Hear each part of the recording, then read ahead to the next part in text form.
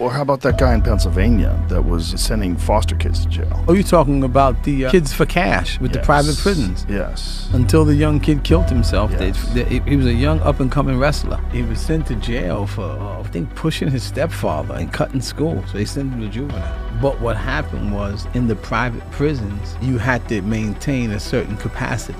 You had to be filled to like 80% capacity.